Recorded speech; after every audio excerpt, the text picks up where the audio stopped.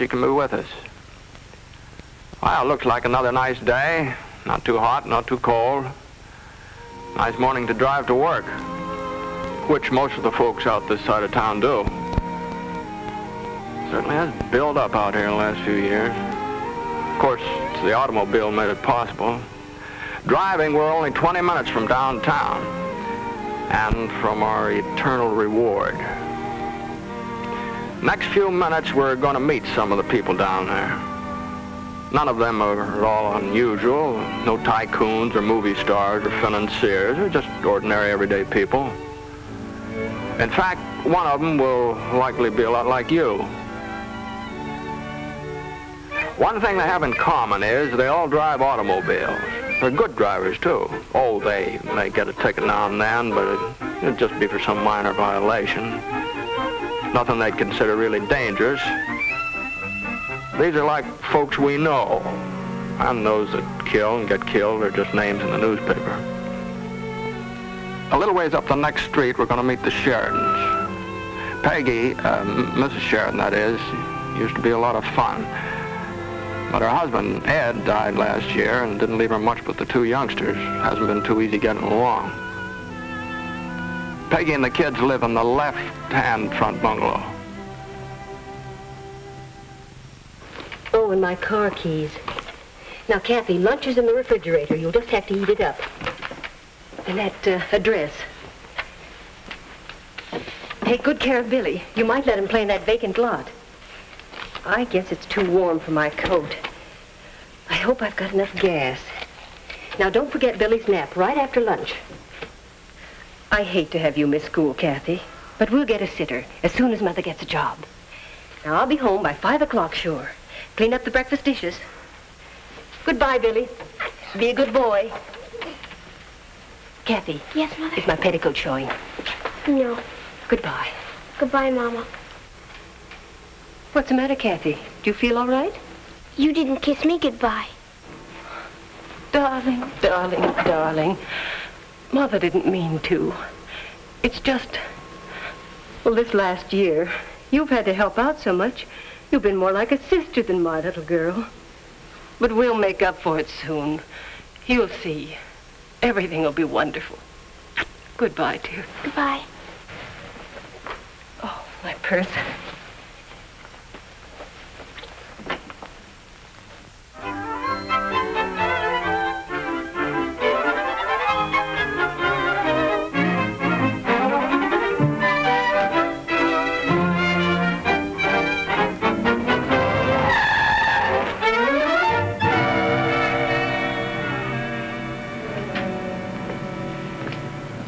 Kathy. Playing hooky today, huh? Uh-uh. Mama's gone downtown. I had to stay home and take care of the baby. Hey, what's keeping you, Holly? I haven't got all night, you know. I had to hunt up your briefcase. Well, I thought as long as you were going out selling it, it'd be kind of nice to have your price book. Let's go, darling. I haven't got all night, you know. Nice young couple, aren't they? Name is Shelby, Pat and Holly. Nice little car, too. The company supplies it. Pat's a salesman for the West Side Lumber Company. Holly works, too, at one of the big department stores downtown. And this is the last bus stop where Pat can drop her off before he turns west. They're still so fresh married, they're kind of shy about kissing in public.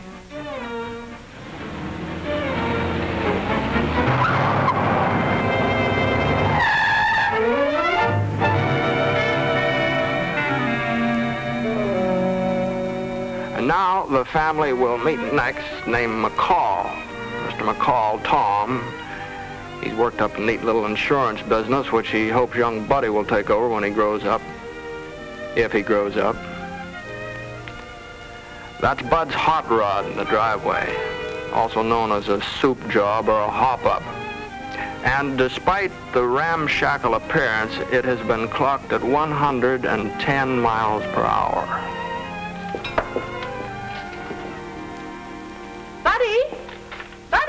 Coming.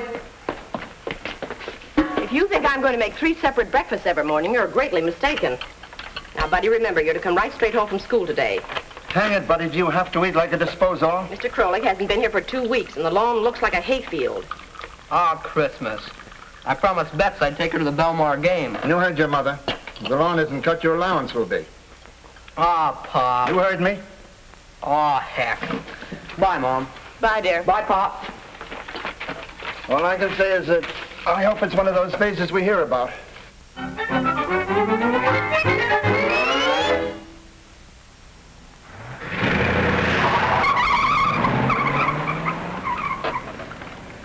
That car. It's a wonder to me he doesn't break his neck. And do you realize that we can be sued for the damage he does?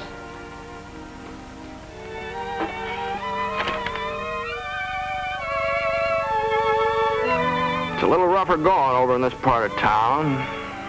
But I guess rough going's kind of the rule for people like Joe Krolik. Joe's a gardener, so he'll take any work that's around. I might tell you that Joe and his wife Hedda have set their hearts on a great goal. All four of their kids, the three that's here and the one that's coming, they're going to start life with high school diplomas. They're going to get somewhere. Oh, Joe, what do you want for supper? With my belly full of breakfast. Don't talk to me about eating. Say, if Mrs. McCall paid me today for last month, would be good we take the kids to the beach. Maybe cook hot dogs over a fire, eh? Oh, Joe, don't forget to have those brakes.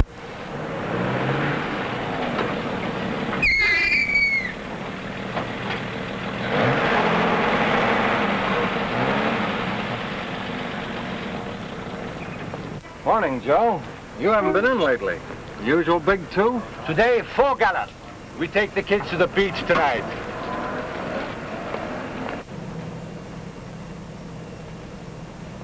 Oil's okay. Better take some wood out to the beach, Joe. I was out last Sunday and the driftwood is about used up. Okay.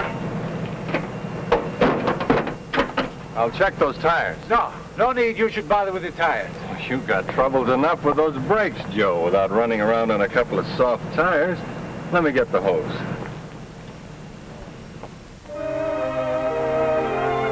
We're a little rich here up here on the hill, but that's okay. Most of them are folks that worked hard, maybe had a little luck, now are enjoying the fruits of their labors. Now, this house is the residence of the last folks on our team, Dr. and Mrs. Harry I. Marks. Now, Harry, be sure and leave the office in plenty of time. The Davids are coming to cocktails at 6.30. and You have to change before that. And then dinner with the Waldrons. And you know how Thelma is about sitting down on the dot. Okay, I'll be here. Unless that idiotic young judge thinks up something to the contrary. Well, where did I put that summons? Oh, I think it's unfair. I don't see why your lawyer can't just pay your fine like he always has.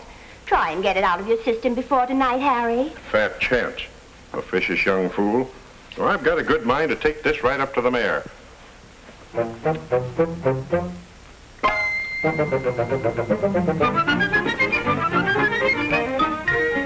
Well, our friends are all on their way.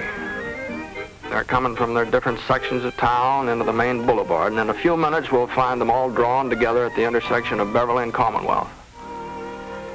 You know, probably not one of them, oh, maybe, maybe Joe Krolik did and Holly, but I'll bet not one of the others ever stops to think that when you say goodbye to somebody, you may never see them again.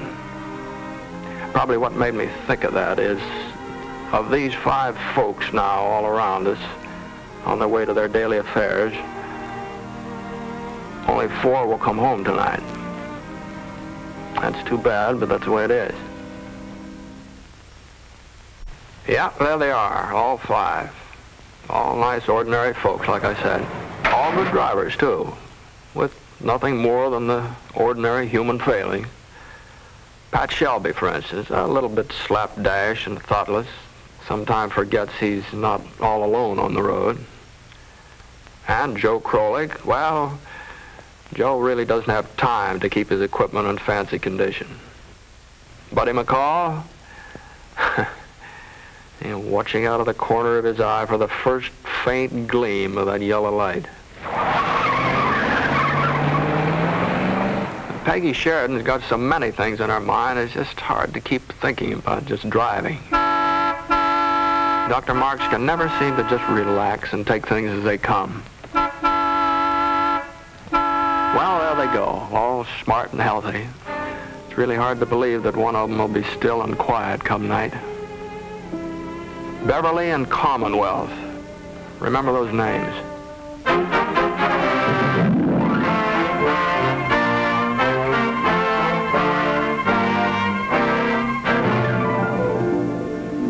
Mr. Brightman, I want you to promise me you won't be back here again. Harry I., Marks. Excessive speed and following too close on preceding vehicles. Guilty or not guilty? Your Honor, if you will study that file, I believe that you'll agree that the arresting officer should be reprimanded. Sorry, Dr. Marks. I cannot listen to a statement until you plead.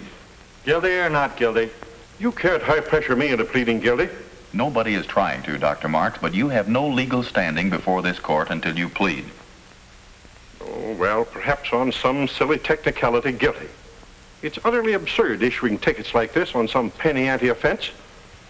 City would be a lot better off if the police spent their time chasing criminals. Dangerous driving is criminal, Dr. Marks. A wheel can kill a man as quick as a gun. We have to have rules of the road for the same reason as in basketball and baseball. If each driver obeyed them, all other drivers would know what to expect. 45 miles per hour in a 25 mile zone. Following too closely, two prior violations. The fine will be $25. That's utterly ridiculous. $25 for a trivial minor violation? My dear sir, and the rest of you here in this court, let's get one thing straight right now. This court recognizes no such thing as a minor violation. Lucky violations, yes, but not minor. The dividing line between a minor violation and a charge of manslaughter is usually a tenth of a second and a lot of luck. All right, all right. Where do I pay? On second thought, Dr. Marks, I think it best if you don't buy your way out of this. $25 won't make a lasting impression on you, and it certainly won't teach you proper driving habits. I therefore withdraw the fine and sentence you to three days in jail, or, if you so elect, to the remainder of the day at Belmar High School, there to attend all classes of the day in the driver education and training courses.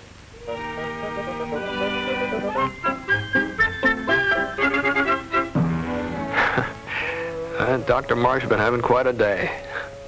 Lately, he's been going through certain driver testing devices which check your tendency to the most common types of accidents.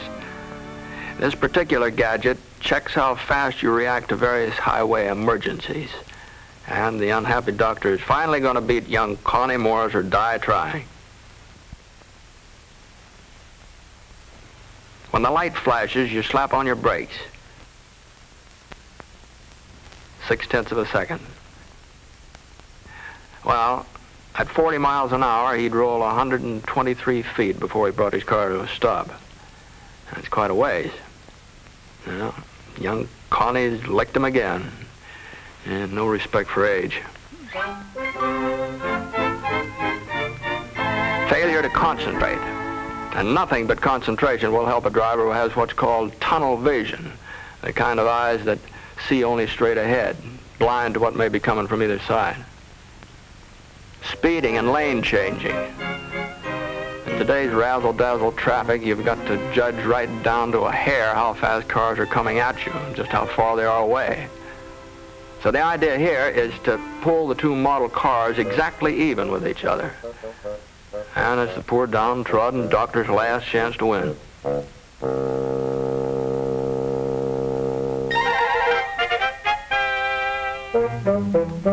Thank you.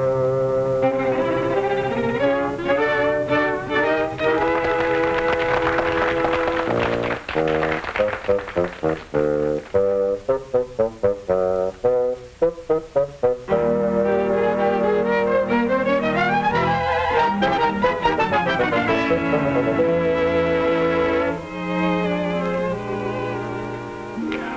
the tide of traffic has turned, and another day is coming to a close. And it did turn out nice for everybody, just as we expected.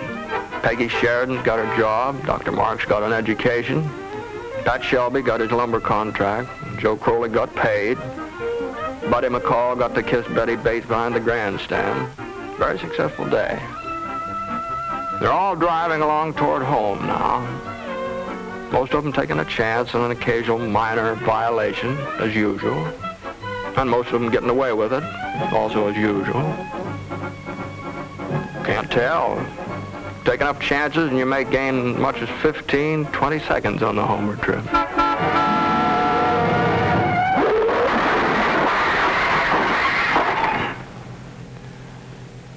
I'm sorry you have to see this. It won't be what you call pretty. That's one of our folks in there. I, I guess you knew that. Developments are expected, and the White House will issue a further statement later tonight. On the local scene, a fatal automobile crash a few minutes ago at the corner of Beverly and Commonwealth snuffed out the lives of at least one motorist and a truck driver when the local vehicle outbound on the boulevard, claimed by witnesses to be driving in an erratic manner, burst into flames after colliding with a heavily loaded overland truck and trailer. The driver of the truck was instantly killed, but the fire has so far prevented identification of the local driver. At the state capitol today, the fate of the ref... I can't imagine what's detaining Harry. He's usually so punctual when we have guests. Oh, come now, Sylvia. We heard it, too. But don't go jumping to conclusions. With probably 50,000 drivers coming home along the boulevard, the chances are 50,000 to Oh, one. I know. Harry isn't one of the best drivers in the world, but he's certainly one of the luckiest. I remember just yesterday morning he was driving me to town. You know how Harry is, impatient at times, and he's sort of inclined to ride the bumper of the car ahead. But any wife is going to start imagining what would happen if he got impatient and unlucky at the same instant.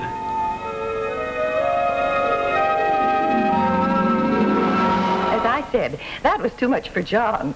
After all, he said to the officer, it was only a minor violation. You can't... Shh. Oh, I'm sorry. I thought I heard a car.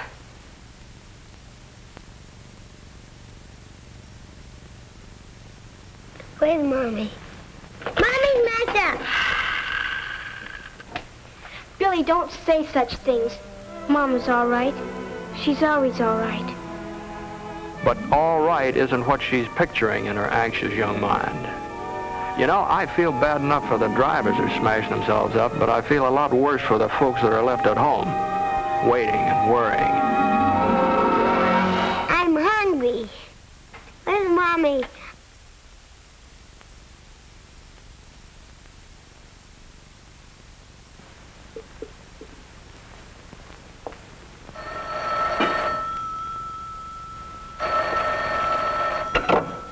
Hello?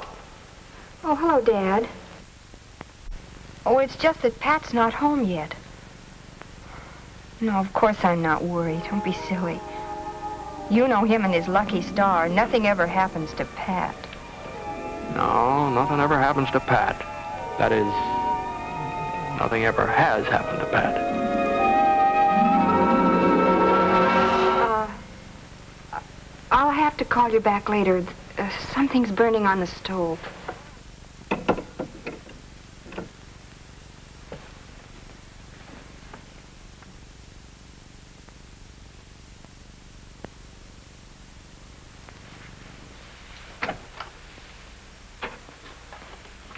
From the window. It's bad luck to watch. Go to the bedroom. Take off your coats so that Papa won't see you waiting. Papa wants to have us a swell ride, so he's getting his car fixed. That's all. You remember, she asked him just this morning to get the brakes fixed. But what if he didn't take the time?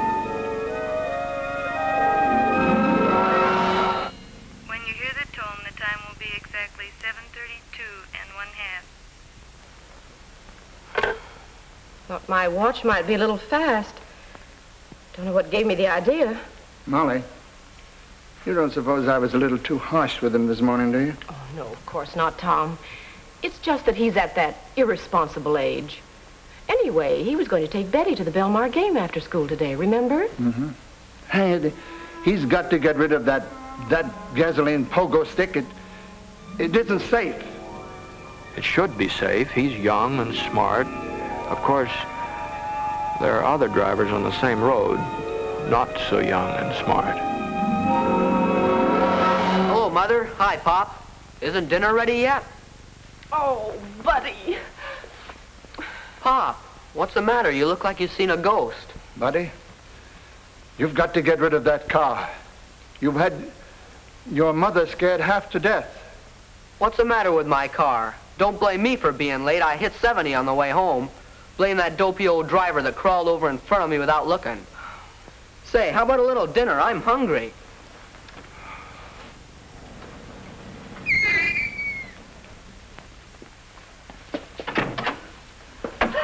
Ah, well, Lenny.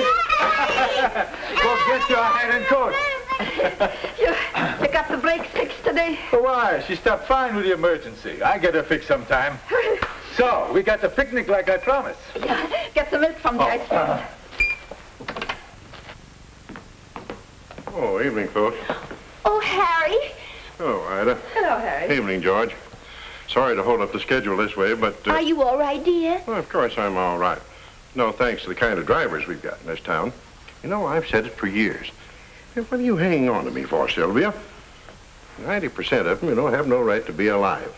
Going like maniacs, cutting across traffic, gawking away from the road, jumping lanes, running stop signs. And uh, following too close? Huh? Okay, okay, following too close. And what do they say when they get a ticket? It was only a minor violation. Well, believe you me, the only difference between a minor violation and sudden death is a tenth of a second and God's providence. Anyone here see this accident happen? I saw it. All right, sir, may I have your name? Edward J. Smith. Will you follow me over here, please, sir? I'd be glad to. The books all say we learn by experience. Well, sometimes I wonder. Young Buddy McCall, for example. Joe Krolik. Both of them brushed hands with death today. Neither of them seemed to learn anything. They'll drive the same way tomorrow, take the same chances. Maybe they'll even keep on being lucky, maybe for quite a while. Like I say, it makes you wonder. We may have to call you. Well, I certainly hope you do. It's nothing short of murder to drive an automobile like that. Yeah, you'd think so. But until somebody got in the way, it was nothing but a minor violation. Driver picked the wrong time, that's all. 61T, 61T, correction on your last call. Should be 1056 North Cedar for notice on accident victim. Hey, that's right up near me, just south of Hillsdale. One of them courts. I'm nearly out of my head, Daddy. It's his bowling night, and he's always early. I just know something's happened to him. Isn't there anything you can do?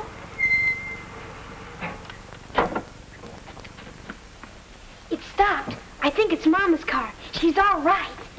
Pat? Is that you, Pat? Mama! Oh, Mama! Well, which one of us is going to break the news this time? Well, I'll flip your coin. Heads. You're up. All right. And uh, send a man up from welfare to look over the papers and property. No, not much. Seems to be no surviving relatives. The father is dead. Better send out a plain car with a police matron. Oh, and ask the lieutenant to see if St. Mary's will take them in for the night until there's a formal commitment. But, darling, I thought you were dead. What made you so late? Oh, one of those badge-happy cops hung a ticket on me. Even so, I made it all the way out in 21 minutes. Made every light. If you're not too legal about a couple of yellows. Oh, now don't worry about the ticket, baby. Three bucks will cover it. It was only a minor violation. It was only a minor violation.